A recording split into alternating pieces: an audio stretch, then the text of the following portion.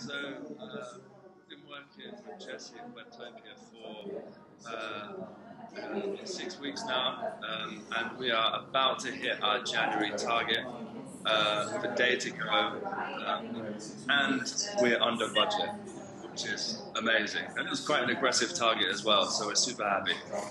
Cool. That's awesome.